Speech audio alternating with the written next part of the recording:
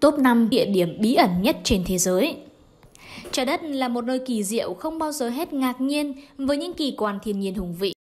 Nhưng mà hành tinh của chúng ta thì cũng không phải là không có những bí ẩn.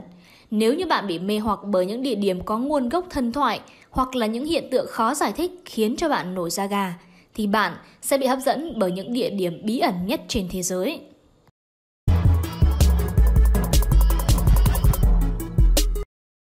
Một, Đại kim tự tháp Giza Đại kim tự tháp Giza đã quyến rũ nhân loại hàng nghìn năm, là một trong bảy kỳ quan của thế giới cổ đại vẫn còn nguyên vẹn. Nó tiếp tục là một trong những điểm đến thu hút khách du lịch nhất trên trái đất.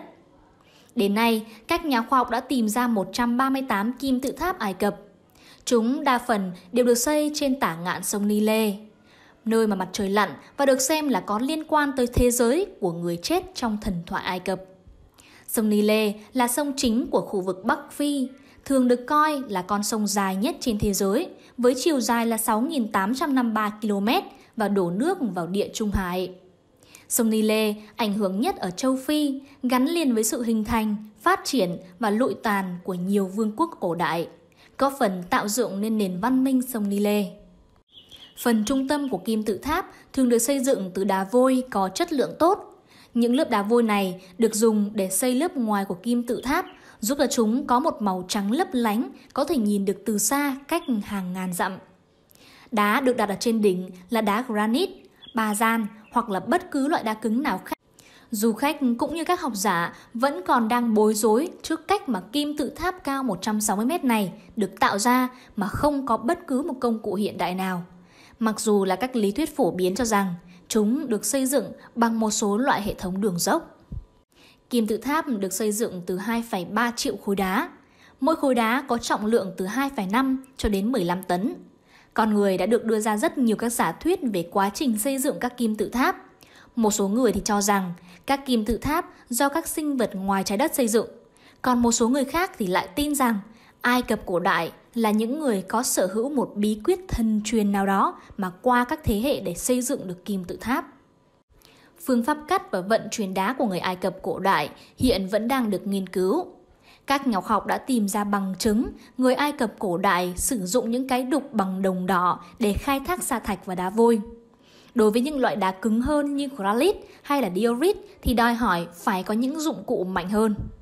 Dolerite một loại đá lửa màu đen rất cứng được người Asqua sử dụng để lấy đá granite. Để vận chuyển đá đến công trường, một nhóm người đàn ông hoặc là đàn bò sẽ phải kéo những tảng đá trên một đoạn đường được bôi trơn bằng dầu trước đó. Kế tiếp, người ta sẽ dùng một con dốc nhỏ được làm từ gạch bùn rồi phủ vữa lên trên để làm cứng bề mặt và vận chuyển những tảng đá lên trên kim tự tháp. Có rất nhiều loại bẫy khác nhau được đặt trong các lăng mộ nhằm mục đích là bảo vệ các vua chúa khỏi sự quấy nhiễu, làm phiền của những người không mong muốn. Bẫy dây được làm từ thép vô cùng mỏng, sắc được treo ngang tầm cổ. Bẫy rắn thì thường xuất hiện trong nhiều lăng mộ cổ Ai Cập. Chúng thường là những con rắn hổ mang cực độc, được huấn luyện để coi giữ lăng mộ.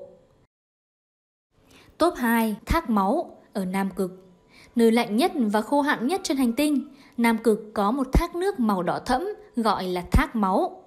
Độ dài 5 tầng dọc theo dòng sông băng màu trắng. Vào những năm 1911, nhà địa chất học người Anh Griffith Tyler đã phát hiện ra một thung lũng băng ở đông Nam Cực, với dòng nước chảy có màu đỏ y như là máu. Nơi đây đã nhanh chóng trở thành sự quan tâm lớn nhất của các nhà thám hiểm và khoa học lúc bấy giờ. Thác máu Nam Cực hay còn gọi tên khác là Tyler theo tên của người đã phát hiện ra nó. Lý giải về hiện tượng này, ban đầu người ta cho rằng đó là do một loại tảo tạo ra. Tuy nhiên, sau khi nghiên cứu thì họ lại thấy rằng đây là một ý kiến hoàn toàn sai lầm. Về sau, các nhà khoa học thám hiểm cho rằng cách đây khoảng 1,5 triệu năm trước, có một mặt hồ nước mặn chứa các chất sắt. Hồ nước này bị bao phủ bởi một lớp băng, Nhiệt độ trung bình của thác nước này ở Nam Cực luôn ở mức là âm 17 độ C. Độ mặn cao gấp 2 đến 3 lần so với mức nước biển thông thường nên là không thể đóng băng được. Vào mùa hè, khi mà nhiệt độ ở Nam Cực ấm lên khiến cho mặt hồ trồi lên khiến thác máu kỳ lạ tuôn chảy. Thật là không ngờ tới, bên dưới những tảng băng cực kỳ lạnh này lại có cả một hệ sinh thái bao gồm các loại vi sinh vật sống. Tại đó, từ thiên niên kỷ trước, trong điều kiện khắc nghiệt với nhiệt độ cực thấp. Anh Thế mới thấy thiên nhiên quanh ta còn vô vàn những điều kỳ thú đang chờ chúng ta khám phá đúng không nào? Chắc chắn rằng trong tương lai sẽ còn rất nhiều những điều bí ẩn về thác máu nam cực này sẽ được giải đáp tiếp, thế nên là bạn đừng quên theo dõi thường xuyên nhé. Top 3. Cửa địa ngục Turkmenistan Gần 50 năm trước, một miệng núi lửa hừng hực mở ra trên sa mạc phía bắc của Turkmenistan. Địa điểm bí ẩn nhất trên thế giới này còn được gọi là cửa xuống địa ngục, vẫn còn đang cháy cho đến ngày hôm nay. Và vào ban đêm, ánh sáng của nó có thể được nhìn thấy từ rất xa. Miệng núi lửa được cho là do một vụ nổ khoan khí đốt tự nhiên của Nga tạo ra. Trong đó, các kỹ sư đốt cháy khu vực này để ngăn chặn sự lan truyền của khí nguy hiểm. Không biết là ngọn lửa này sẽ cháy trong bao lâu. Người dân địa phương đặt tên cho sự xuất hiện địa chất bất thường là cổng địa ngục, đề cập đến sự phát sáng liên tục phát ra từ hố. Rõ ràng là một lối mở cho thế giới ngầm. Khu vực Davaza còn được gọi là Weather, rất giàu lưu huỳnh, khí đốt và dầu.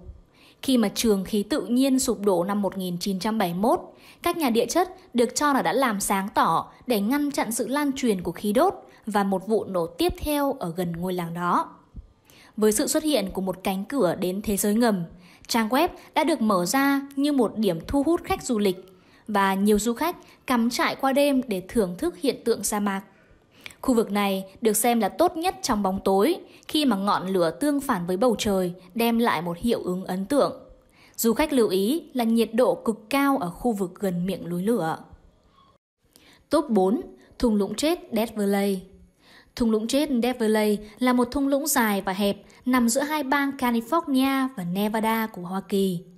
Thung lũng chết có cao độ thấp nhất Bắc Mỹ, trung bình là khoảng 86 mét dưới mực nước biển. Tổng diện tích là khoảng 1.400 km vuông. Thung lũng chết có điều kiện tự nhiên rất khắc nghiệt. Mùa hè thì nhiệt độ thường là trên 49 độ C, mức kỷ lục là 56,7 độ C, còn mùa đông thì lại dưới 0 độ C. Lượng mưa trong thung lũng rất thấp, trung bình hàng năm khoảng 42 mm. Năm 1849, một đoàn người đi tìm vàng trong khi cố gắng tìm con đường tắt đã đi lạc vào thung lũng này và bị mất phương hướng. Họ đã phải trải qua đói khát, bị ánh nắng mặt trời gay gắt thiêu đốt và bị tấn công bởi các loại côn trùng, sâu bọ như là rắn và bọ cạp. Năm 1941, một đoàn điều tra của Mỹ do là mất phương hướng thì cũng bị lạc vào đây và không còn một ai sống sót. Năm 1949, một đoàn thám hiểm khác thâm nhập vào thung lũng và chết vì một sức mạnh thần bí. Một vài người chạy thoát nhưng mà chẳng bao lâu thì họ cũng chết một cách khó hiểu. Từ đó đến nay, địa phận thung lũng này thường được gọi là thung lũng chết. Thực vật trong thung lũng thì cũng rất ít. Ven đầm ao chỉ có một loại cỏ như là cỏ bấc. Động vật thì cũng chỉ có thỏ rừng, chuột, cáo, chó sói và sơn dương. Trong lòng thung lũng hoang tàn nhưng mà cảnh sắc quanh nó lại hoàn toàn khác biệt. Phía tây thung lũng là chân núi phía đông dãy Nevada, ở vùng tiếp giáp có nhiều khe núi dọc ngang và những cây cột bằng đá mọc lởm chởm. Một trong những điều bí hiểm của thung lũng chết là sự dịch chuyển của những tảng đá và vệt đường đi của chúng trên cát, dù là không do sự áp lực của mưa hay là gió hay là dòng nước nào hết. Cứ hơn một tháng, những hòn đá này lại di chuyển khoảng 100 mét. Không ai có thể lý giải được tại sao mà những hòn đá này lại có thể di chuyển được. Sau những trận bão lớn, nước thường tập trung ở trên bề mặt những hòn đá kỳ lạ này.